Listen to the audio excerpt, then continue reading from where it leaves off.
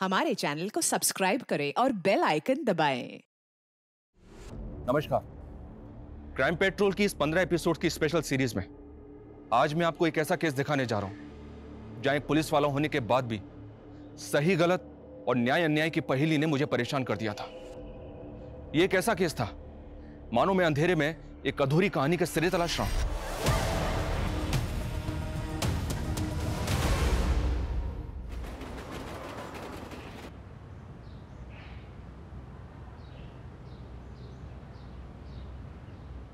जतिन यार तू बिलीव नहीं करेगा।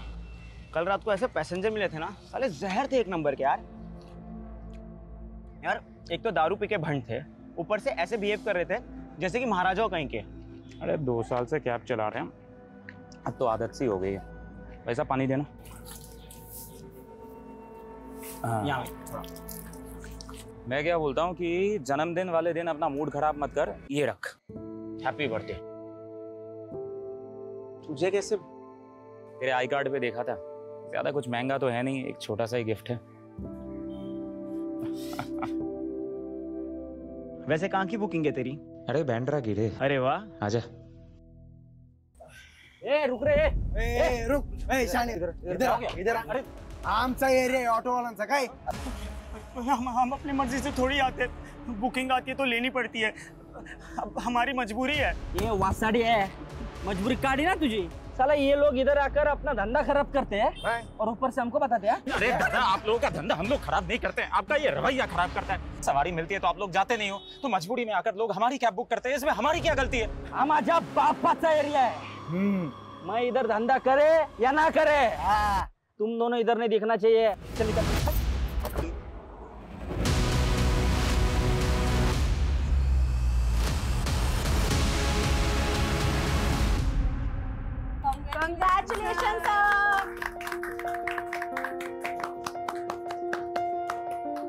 सीरियसली सर आपने हिस्ट्री क्रिएट की है। ना सिर्फ़ ये इतनी कम एज में ये अवार्ड पाकर बल्कि वुमेन एम्पावरमेंट क्या है और उसे कैसे सपोर्ट करना है इसे प्रूव करके। सीरियसली सर एग्जैक्टली सर हमारी मिटका फार्मेसी पहली ऐसी कंपनी है जहाँ की सारी एमआरस फीमेल्स हैं।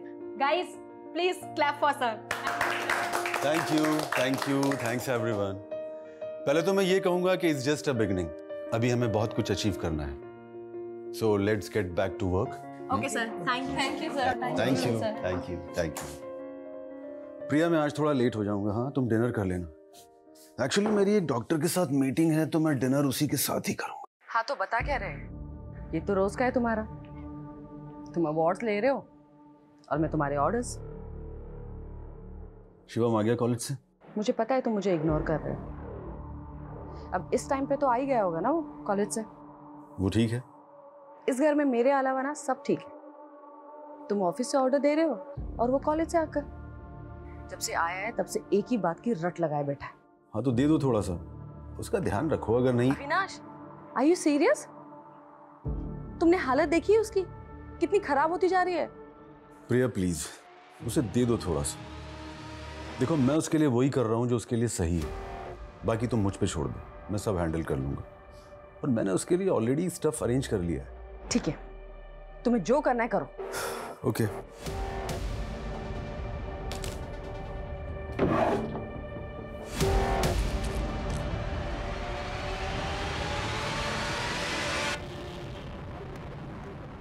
thank you thank you sir आपको भी। हाँ मैंने सारी डिटेल्स मेल कर दी हैं। सर बहुत खुश लग रहे हैं आप। लगता है मीटिंग बहुत अच्छी हुई आपकी। हाँ एक डील फाइनल करने दिल्ली जा रहा हूँ। बहुत बड़ी डील है। वो साहब मेरे को तीन दिन का छुट्टी चाहिए था। अरे भाई क्यों चाहिए तीन दिन की छुट्टी? वो साहब मेरे बाबा का श्राद्ध है मेरे को गाँव जाना है। अच्छा अच्छा फिर तो ले लो छुट्टी। लेकिन हाँ टाइम से वापस आ जाना। हाँ हाँ साहब टाइम से आ जाऊँगा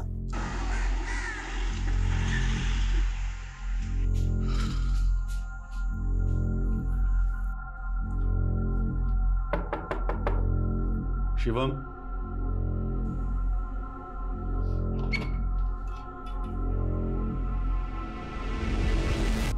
आर यू ओके बेटा? यार डैड आई एम फाइन मैं अंदर आ जाऊँ? Sure sure.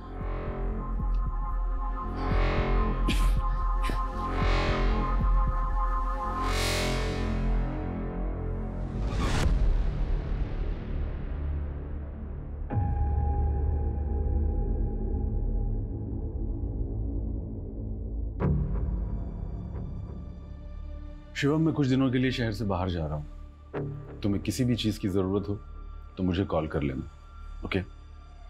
डैड आप हमेशा मेरी सपोर्ट करते हो। मॉम बिल्कुल नहीं करती।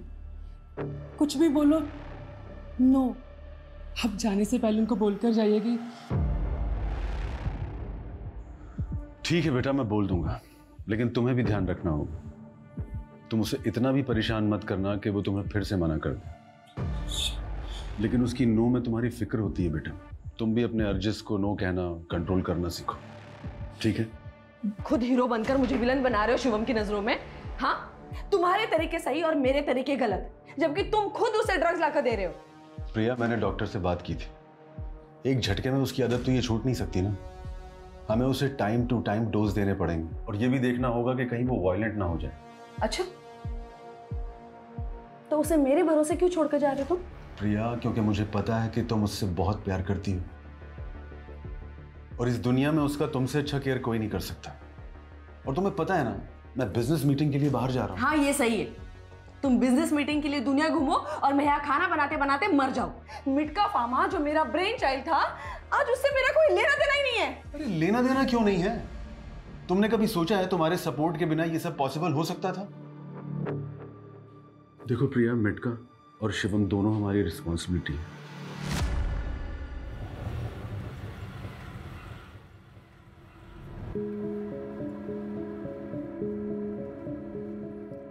क्या बात है भाई? इतना ध्यान से क्यों देख रहे सर एक्चुअली आपको देख के किसी की याद आ गई। वो एक बिजनेसमैन है। मैंने हाल ही में उनका वीडियो देखा था।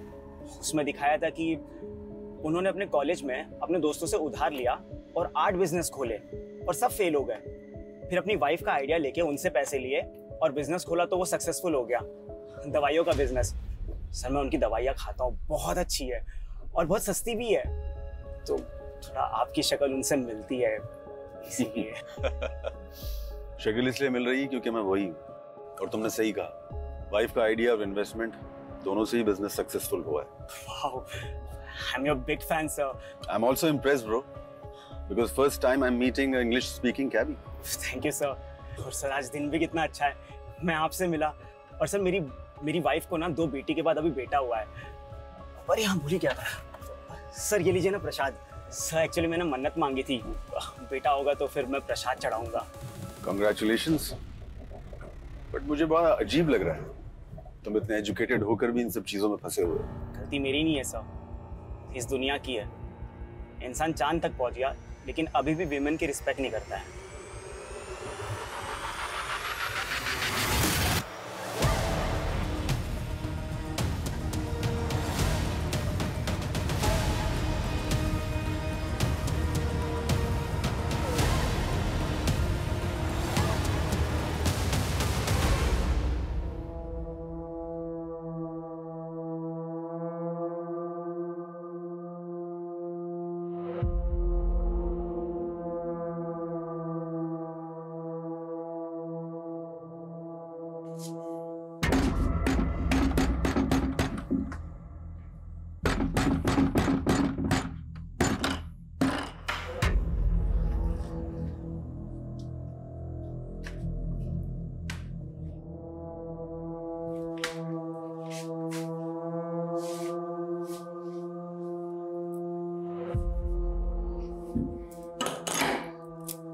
खाना गर्म कर देते हैं।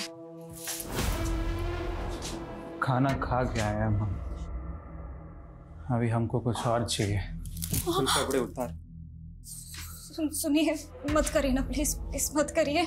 छठा महीना चल रहा है। डॉक्टर ने भी मना किया था आप तो जानते हो बच्चे को नुकसान होगा ना। भाड़ में गई तू। तेरा ये बच्चा और तेरी डॉक्टर हाँ? समझी? मत मत मत मत अभी मुँह बंद रखा चल कपड़े नहीं नहीं सुनिए ना प्लीज़ प्लीज़ मत करिए हाँ, हाँ, हमारी बेटी के आस पास भी दिखे ना तुम तो हम चीर के रख देंगे सबको। आ, हाथ लगा के तो दिखा।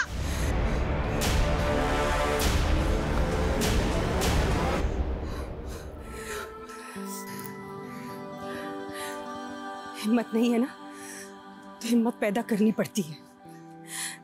ये दुनिया है ना औरत को कमज़ोर समझती है। इसलिए ये रूप दिखाना पड़ता है। माँ आप हमारी किसी को भी मार दोगे? देख बेटा इतना समझ ले। हमारे होते हुए तुम दोनों को कोई कुछ नहीं कर सकता। चाहे इसके लिए हमें कुछ भी करना पड़े।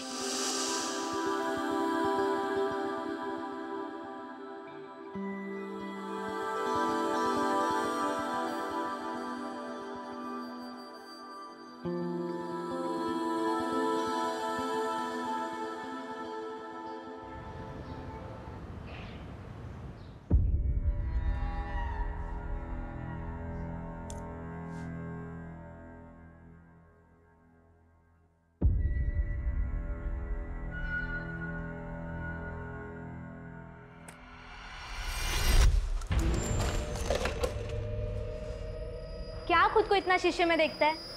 मैं तेरे को ऐसे आग भर के देखती हूँ वो कम है क्या? हम्म? चल आ जा खाना खाते हैं। वो भी एक ही प्लेट में। आ ना प्यार बढ़ेगा। तेरा घाव अभी तक भरा नहीं। दवाई नहीं लगाता ना तू? रुक मैं लाती है। कोई ज़रूरत नहीं है। तूने खाना रख दिया ना अब जा। मैं तेरे से इतना प्यार करती हूँ। तेरे से शादी करना चाहती हूँ। और तू ऐसे कुत्ते जैसे हकालता है मेरे को। देख, ज़्यादा भाव मत खा, मान जा। मेरी जैसी दूसरी मिलेगी नहीं तुझे। मैं ही हूँ, जो खाना खाने के बजाय तेरी गाली खाती हूँ, और मुस्कुराती भी हूँ।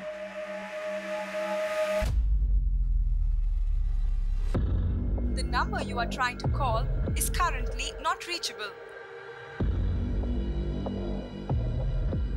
The number you are trying to call is currently not reachable.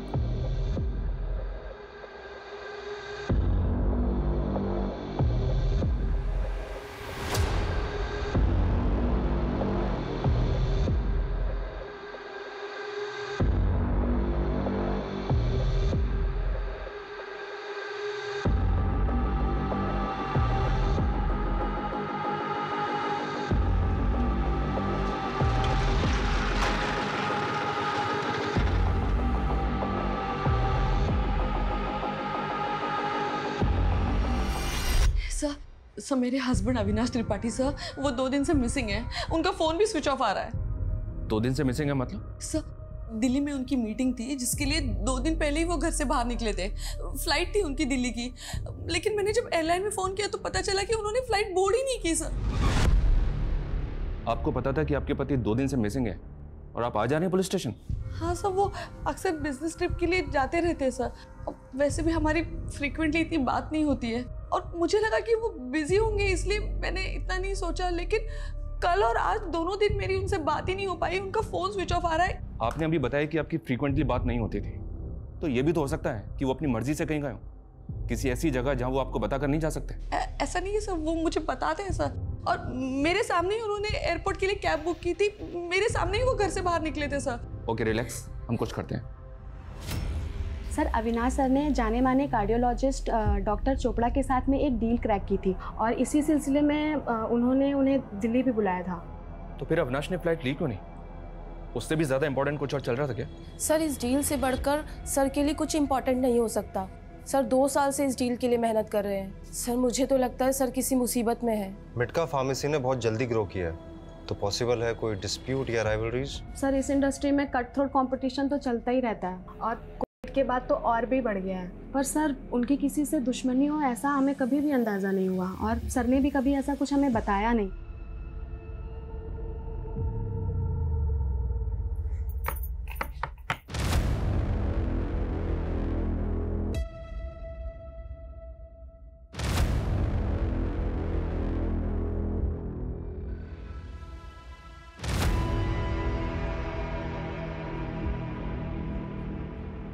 कैसी लग रही हूँ? एकदम हॉट ना?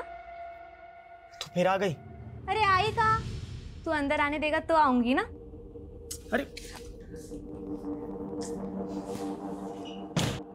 अरे बोल ना कैसी लग रही हूँ? मस्त लग रही हूँ ना? अरे तू आदमी है कि क्या है रे? कि मेरे में ही कुछ कमी है? सुंदर नहीं लगती क्या मैं तुझे? देख मैं ना तेरे से बहुत प्यार करती है।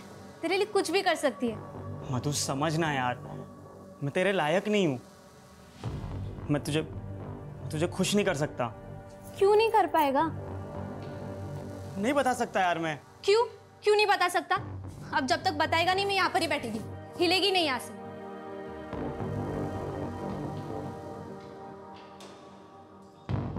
ठीक है बताता हूँ मैं।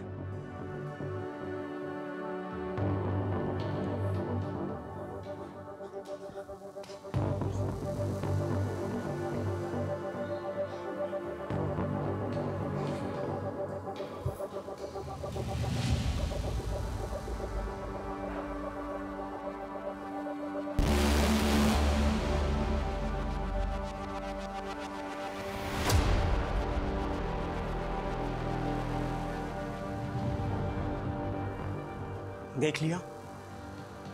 मधु, तुम एक आदमी से प्यार करती हो। वो मैं नहीं हूँ। मैं क्या हूँ? मुझे भी नहीं पता।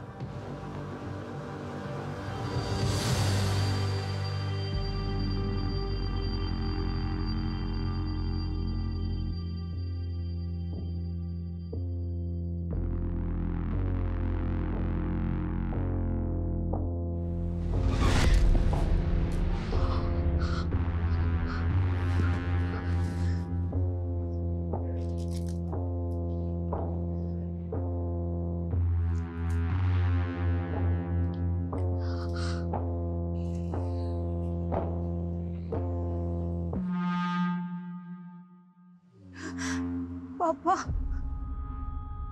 पापा हम बोल रहे हैं। पापा हम आपके हाथ जोड़ते आपके पैर पड़ते प्लीज़ प्लीज़ हमें यहाँ से लेकर जाइए। पापा ये ये आदमी हमें मार डालेगा। बार बार काहे फ़ोन करती हो तुम? देखो अब जो है तुम्हारा वही सब कुछ है। अब यहाँ कुछ नहीं रखा तुम्हारे लिए।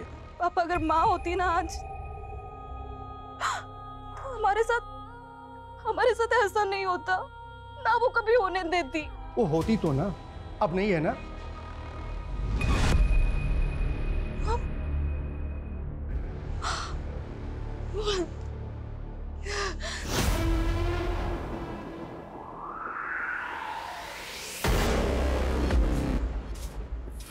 सर कैब कंपनी की इन्फॉर्मेशन के अकॉर्डिंग ड्राइवर का नाम श्रवण किशोर है?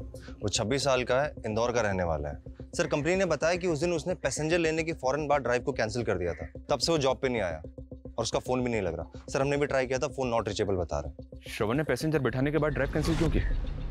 और डिसेंट से देखने वाले अविनाश का? एक कैब ड्राइवर से क्या लेने देना हो सकता है?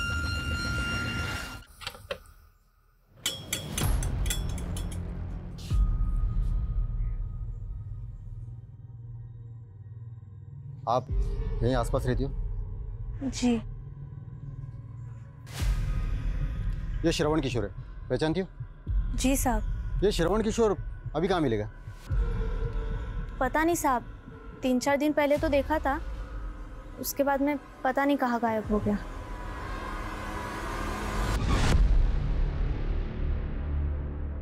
मधु अगर तूने सचमुच मुझसे प्यार किया है तो प्लीज़ मेरी जो असलियत मैंने तुझे बताई ना वो किसी को मत बताना।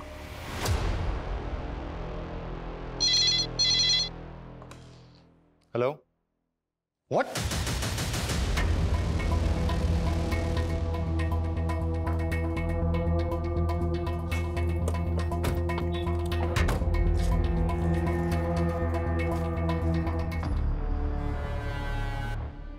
जिसने भी मर्डर किया बहुत नफरत करता होगा शायद इस आदमी से। बॉडी के पाँच टुकड़े। हाथ पैर और धड़ मिल गया लेकिन सर गायब है। सर एक मिनट। हेलो? क्या? ठीक है ध्यान रखो हम पहुँचते हैं। सर। बॉडी का सर भी बरामद हो गया।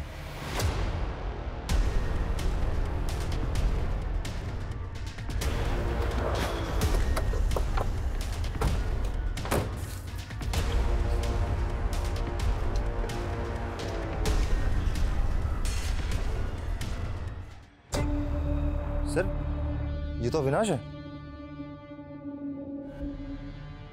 अविनाश के केस में सबसे अलग और अजीब बात है कि कैब ड्राइवर श्रवण का पैसेंजर लेकर ड्राइव कैंसिल कर और उसके बाद उसका और उसके फ़ोन दोनों का लापता हो जाना।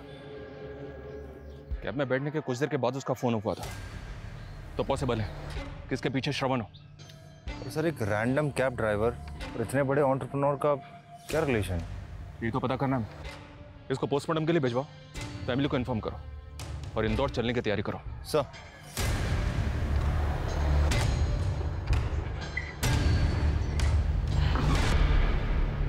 ये, ये नहीं हो सकता अविनाश मुझे छोड़कर नहीं जा सकता नहीं अविनाश अविनाश अविनाश मुझे छोड़ के कभी नहीं जा सकता प्लीज़ पानी दो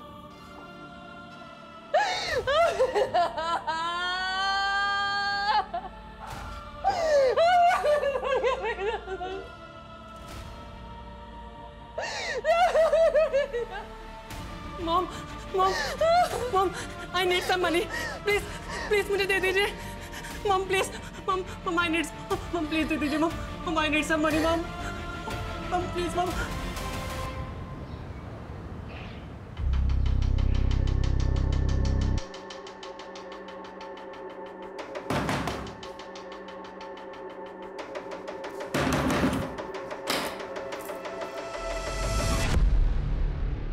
Shravan Kishore यहीं रहता है। कहाँ बुलाओ उसे? वो घर पर नहीं है। कहाँ गया? कब तक आएगा? जी पता नहीं है।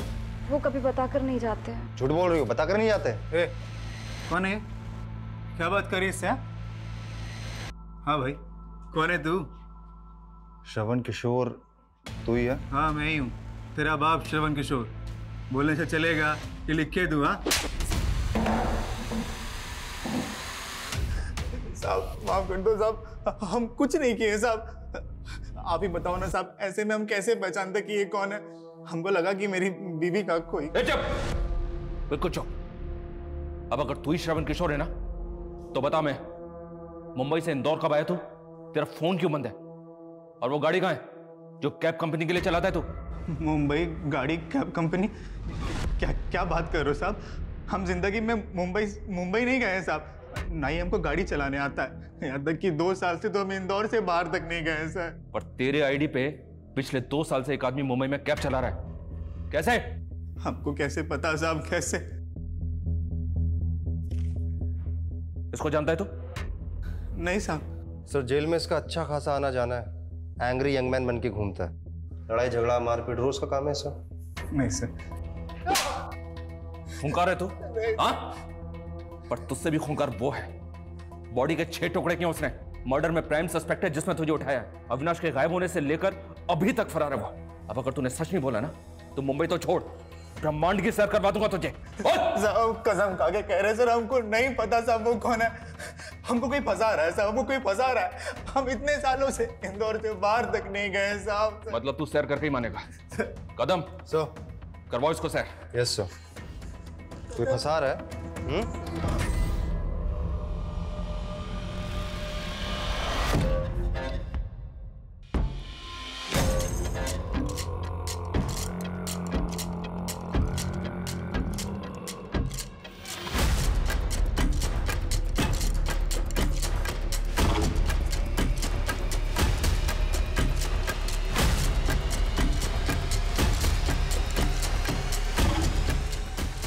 श्रवण के ट्रैवल रिकॉर्ड्स चेक किए वो सच बोल रहा था। वो मुंबई कभी गया ही नहीं। उसका कोई कनेक्शन भी नहीं है वहाँ पे। सर फेक श्रवण जो कैब ड्राइवर था उसने असली श्रवण के एड्रेस पे पहले नकली आधार कार्ड बनवाया और फिर उस आधार कार्ड के बेसिस पे और डॉक्यूमेंट्स बनाया मतलब ये नकली श्रवण जो भी है इसने बहुत सोच समझ के प्लानिंग की है लेकिन एक बात अभी तक समझ में नहीं आ रही है।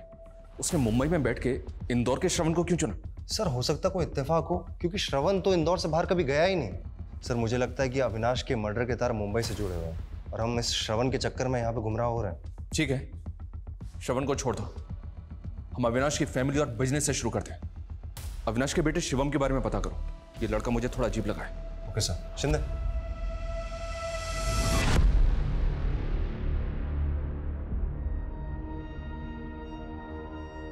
अविनाश मैंने वो सारे पॉइंट्स अंडरलाइन कर दिए हैं जो तुम्हें क्लाइंट के सामने हाईलाइट करने हैं जो हमारे प्रोजेक्ट का यूएसपी है। ठीक है? ओके बॉस और ये क्या? तुमने फिर से पुरानी शर्ट पहन ली? मैंने ना इस मीटिंग के लिए नई शर्ट देखो बॉस इसमें तुम्हारी नहीं चलेगी क्योंकि ये शर्ट मेरे लिए बहुत लकी है। तुमने अपनी फ़र्स्ट सैलरी से ये शर्ट गिफ्ट की थी मुझे।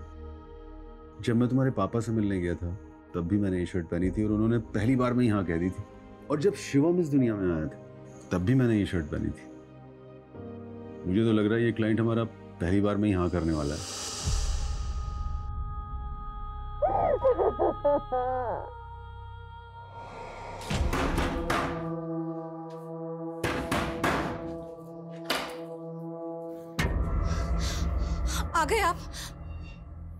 लेकर गए थे आपको?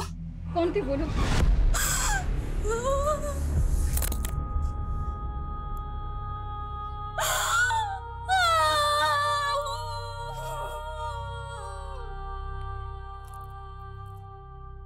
सर शिवम के बारे में पता चला है कि वो ड्रग एडिक्ट है। सर तीन महीने पहले शिवम और उसका दोस्त एक पार्टी में ड्रग्स बेचने के इल्ज़ाम में गिरफ़्तार हुए थे पर सारी कार्रवाई शिवम के दोस्त के खिलाफ हुई। शिवम साफ़ बचकर निकल गया। और सर ये भी पता चला है कि जो ऑफिसर उस केस की जाँच कर रहा था उसने कोर्ट में चार्जशीट फ़ाइल करने के तुरंत बाद रिजाइन कर दिया था। तो मतलब तुम कहना चाहते हो कि अविनाश ने अपने पैसे पहुँच के दम पर अपने बेटे शिवम को उस केस से बचा लिया? यस सर और चूँकि शिवम बच गया इसीलिए पूरा केस उसके दोस्त के अगेंस्ट हो गया। वो लड़का है कहाँ आजकल जेल में सर सजा काट रहा है। और उसका बाप आज भी अपने बेटे के साथ हुई नाइंसाफी की वजह से बहुत दुखी है। कहीं इस नाइंसाफी से नाराज़ होकर तो उसके बाप ने अविनाश से बदला नहीं लिया? पता करो वो ऑफिसर आजकल कहाँ है और क्या कर रहा है? जिसने वो चार्जशीट फ़ाइल की थी। और उस लड़के के बाप को भी बुलाओ। सर। काश ले पाता। सुना छह टुकड़े किए उसके? बहुत अच्छा लगा सुनकर। और अच्छा लगता अगर ये सब मैंने किया होता। इकलौते बेटे का बाप वो भी था और मैं भी। फ़र्क सिर्फ़ इतना था कि वो एक अमीर बाप था। क्योंकि उस ऑफिसर के सामने अपने बेटे के लिए गिड़गिड़ाए तो हम दोनों ही थे। ऑफ़ रिकॉर्ड मिलने के लिए थैंक यू सर मुझे पता है शिवम ने गलती की है। इनफैक्ट बहुत बड़ी गलती की। सर हमारे बच्चों को माफ़ कर दीजिए। अब वो कोई गलती नहीं करेंगे। आप जो कहेंगे जितना कहेंगे मैं दूँगा। लेकिन प्लीज़ उन्हें कोई हार्श पनिशमेंट मत देना। उसके बाप ने ऑफिसर के मुँह में पैसे भर दिए और फिर दोनों बाप बेटे ने मेरे बेटे को फंसाकर जेल भेज दिया। बर्बाद हो गया मैं। मेरा घर बार सब बिक गया। काश मैंने मारा होता उसे। थोड़ा सुकून तो मिलता।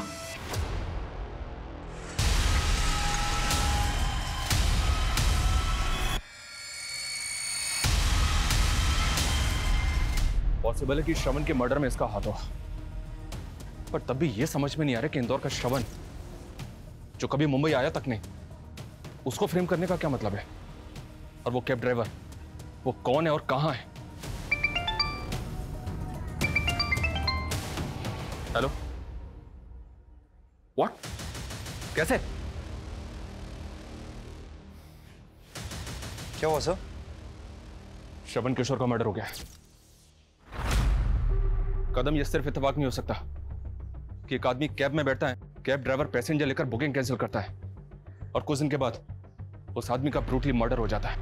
कैब ड्राइवर मिसिंग है, जिसकी आईडी पे पिछले दो साल से शरीफों की तरह काम कर रहा था। हम जब उससे इंक्वायरी करते हैं तो उसका भी चाकू मार के मर्डर कर दिया जाता है। हो ना हो, अविनाश, उस कैब ड्राइवर और इंदौर के श्रवण के बीच कुछ ना कुछ कनेक्शन तो ज़रूर है। पर क्या?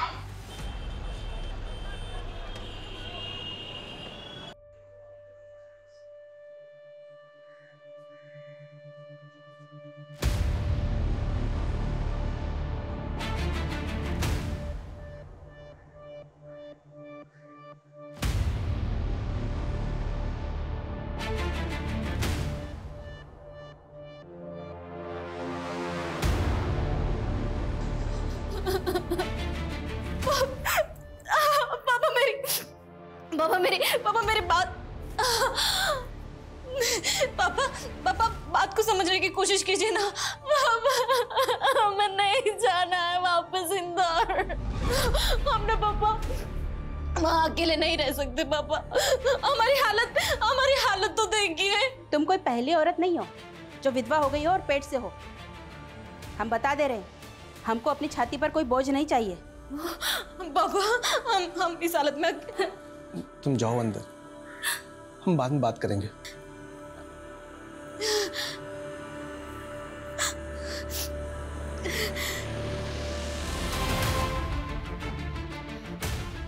हम मानते हमारा बेटा श्रवण कुशल था। लेकिन इतने सालों में तो कुछ ना हुआ। हमें के कुछ समझ में नहीं आ रहा कि अचानक श्रवण के साथ ये क्या हुआ। झूठी तसली ना दे। अपनी बेटी से पूछ क्या हुआ? दिलीप यार तूने अपना बेटा खोया है तो उसने भी अपना पति खोया है। हमारी बेटी तेरी बहू है। उसकी पेट में तेरे खानदान का वारिस है। भाड़ में जाए बहू और भाड़ में जाए वारिस। हम तो ये सोच के पछता रहे कि ऐसी मनुष्य लड़की को अपनी बहू बनाया ही क्यों? जो हमारे बेटे को खा गई। श्रवण और अविनाश ये दोनों कानपुर के रहने वाले हैं। सर सेम शहर और same locality what yes sir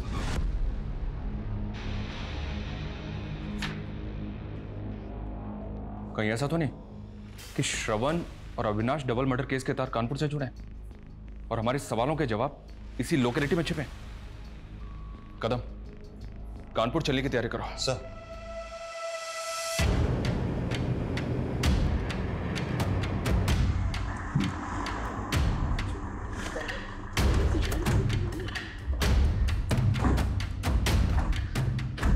sir ये अविनाश का घर है। और ये सरवण का। हमको तो कुछ समझ में नहीं आ रहा साहब। ये सब कैसे हो गया? पहले अविनाश और अब हमारा बेटा। किसी पे शक है आपको? बता सकते हैं? कौन कर सकता है इसका? क्या बताया साहब? कुछ समझ में नहीं आ रहा। अविनाश के पिता केशव और हम दोनों दोस्त थे दोनों ने एक एक करके अपने इकलौते औलाद को खो दिया साहब।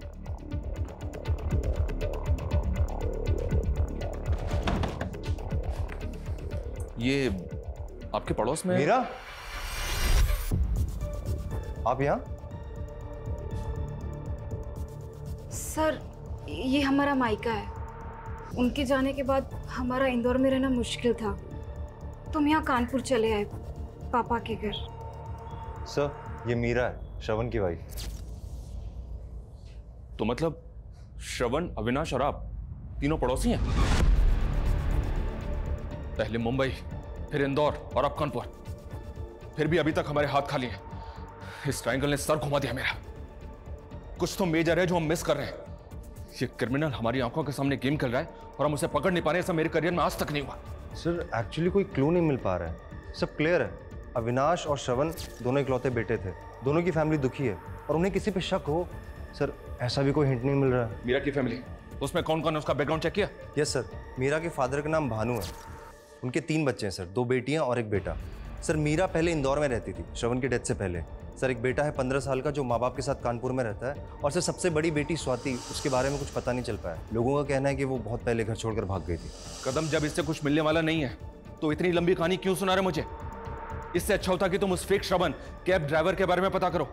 हो सकता है कि वो किसी तरह स्ट्रैंगल से जुड़ाओ सर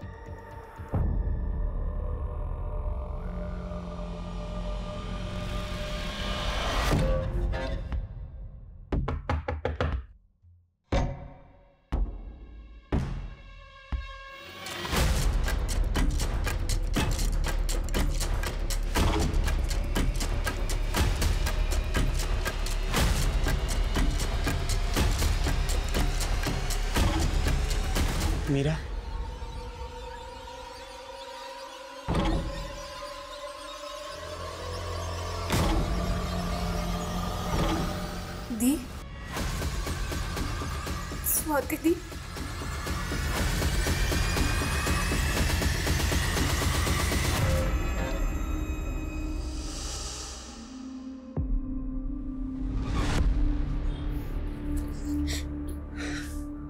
कहाँ थी तुम? मत तुम्हें पता है मुझे तुम्हारी बहुत ज़रूरत थी। मैं हूँ ना यहाँ पर अभी तेरे लिए। हूँ सब खत्म हो गया। नहीं। सब खत्म हो गया कुछ आ गई तुम दोनों। फिर से हमारी छाती पर मूंग गलने के लिए?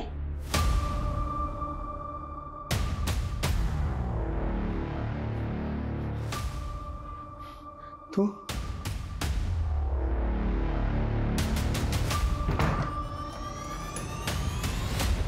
तू क्या चाहती है कि तेरा ये रूप देखकर पूरा समाज हम पर हंसे? आपको बस अपनी और ही समाज ही पड़ी रहती है। हम और मीरा क्या चाहते हैं? किस हाल में कभी सोचा है आपने? मेरी इस रूप का भी कारण ना आप ही हो। आपकी वजह से हुआ ही है खैर हम यहाँ पर कोई बहस करने नहीं आए। हम अपनी बहन के लिए आए। अच्छा। तो अपनी बहन को लो और निकलो यहाँ से। वो भी करेंगे। निकलेंगे यहाँ से हम।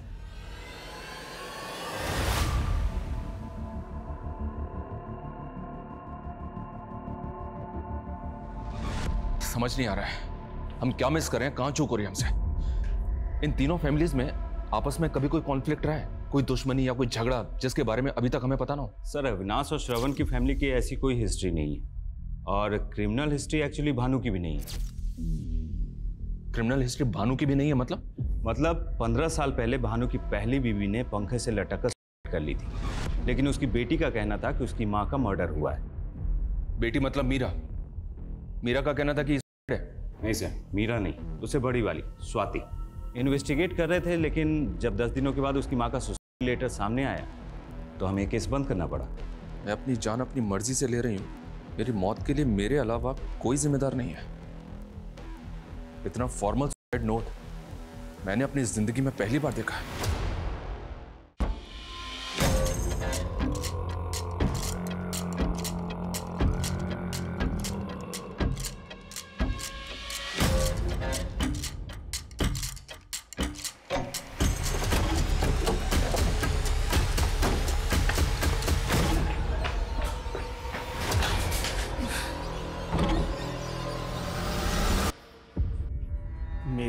दोनों बहनों की ढाल बना करती थी। मैं अपनी माँ की ढाल बनकर उनको नहीं बचा पाई। पर आज उनका बदला पूरा कर दिया। आज वो बहुत खुश होगी। भानु तू झेलता कैसे है इस औरत को? तो बेटी पैदा करके चौधराइन जैसे ऐसे घूमती है जैसे बेटा जन्म दिया और हेकड़ी तो देखो तीसरा बच्चा पैदा करने के लिए भी मना करती है। अरे भाई एक लड़का हो जाए बेचारे को वारिस मिल जाए कोई बुढ़ापे में हाथ पकड़ के चलने वाला हो सहारा देने वाला हो। पर उसे पीछा छुड़ाऊं कैसे? वो मेरा पीछा नहीं छोड़ने वाली। अगर छुप छुपा के शादी कर भी ली उसे पता चल जाएगा मुझे और उसको। हम दोनों को मार डालेगी। अरे तो रास्ते से हटा देना। हमारे पास ऐसे ऐसे तरीके हैं कि सांप भी मर जाएगा और लाठी भी नहीं टूटेगी। बिल्कुल ठीक कह रहा है दलीप निपटाओ से और बिल्कुल ऐसा लगना चाहिए कि की है। पर हमारे अकेले बस की नहीं है। अरे तू चिंता क्यों करता है? हम हैं तेरे साथ में। हाँ।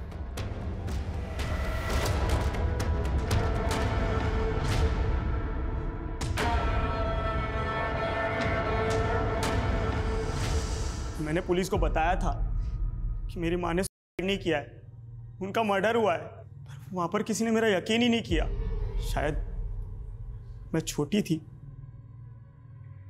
या लड़की थी। इसीलिए तुमने इतनी लंबी प्लानिंग की। घर छोड़ा। सोसाइटी में फिट होने के लिए सेक्स चेंज किया। लड़की से लड़का बनी।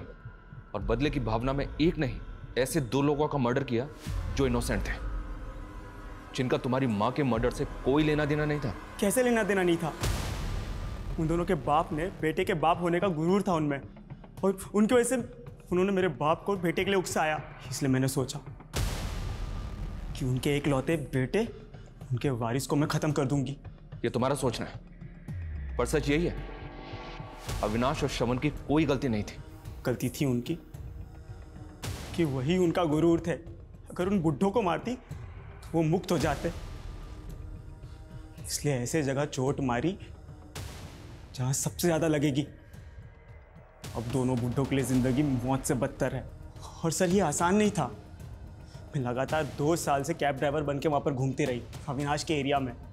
कि कभी तो बुकिंग आएगी। और फिर आई। उसके बाद दिलीप चाचा के बेटे श्रवण को इंदौर में टारगेट किया मैंने। और फिर आखिर में अपने बाप को मार के अपनी माँ का बदला पूरा किया। मेरी माँ को इंसाफ देर से मिला। मिला ज़रूर। ये वो देश है जो चाँद पर पहुँच चुका है। पर फिर भी यहाँ एक लड़का और लड़की के बीच का भेद मानो मिटने के लिए तैयार ही नहीं है। अविनाश इसी समाज की देन है, जो औरत को प्यार और सम्मान दोनों देता था। दूसरा श्रवण, जिसकी मर्दानगी औरत को नीचा दिखाने में, उसको बेइज्जत करने में, और उसके साथ जानवरों की तरह बर्ताव करने में थी। और तीसरी स्वाति, जिसे समाज ने एक औरत और आदमी की पहचान के बीच घुटने को मजबूर कर दिया था। स्वाति, श्रवण और अविनाश के पिता ने उसकी माँ के साथ जो किया वो निश्चित ही एक जुर्म था। लेकिन स्वाति ने कानून का सहारा लेने के बजाय बदला लेना सही समझा। मीरा को सब पता था। फिर भी उसने मासूम लोगों की जान लेने से स्वाति को रोका नहीं और वो भी इस जुर्म में हिस्सेदार बन गए। स्वाति को एक गुनेगार बनाने में न्याय व्यवस्था भी जिम्मेदार थी, जिसने उसकी माँ की हत्या को स्वाति के बताने के बाद भी मान के केस क्लोज कर दिया। क्राइम पेट्रोल की इस स्पेशल सीरीज़ में हम आपके सामने ऐसे ही और केसेस लेकर आते रहेंगे। जिनमें ना सिर्फ़ कड़वी सच्चाई होगी, बल्कि वो समाज के लिए एक आयना भी होंगे। जय Hind. For more update subscribe to our channel click the show links and enjoy watching the videos